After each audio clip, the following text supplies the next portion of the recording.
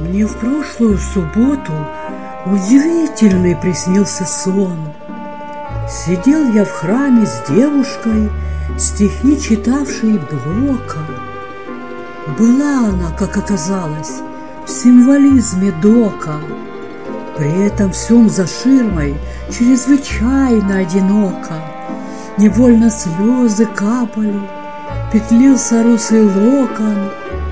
От умиления им — притом взволнованный глубоко. Во сне, негаданно-нежданно, вдруг взыграл тестостерон.